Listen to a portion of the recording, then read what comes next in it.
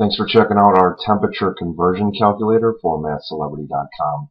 If you have a temperature in the form of Fahrenheit, Celsius, Kelvin, things like that, you can simply enter the temperature that you know, let's say 45 Celsius, and you press the calculator return key. And what the calculator is going to do then is convert that temperature to everything on our list, such as since we entered Celsius, it's going to convert to Fahrenheit, Kelvin, Rankine, Newton, and more.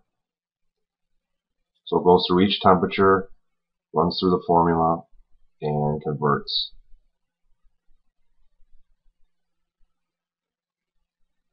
Now if you're on the calculator, you can simply enter the number of the temperature you know. We'll say 52. This time we'll do Fahrenheit press the button.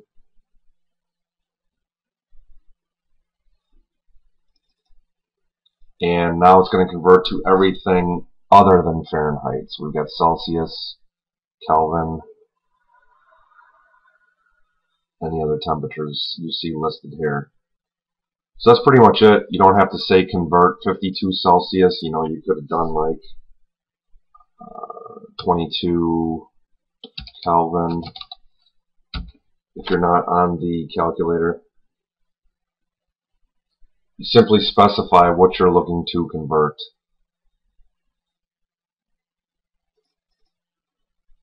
And that's it's that simple and converts to everything on our list.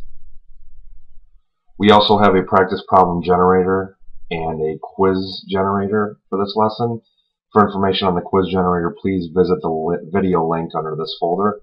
If you have any questions or enhancement suggestions, please use the Contact Us link. Thanks for watching.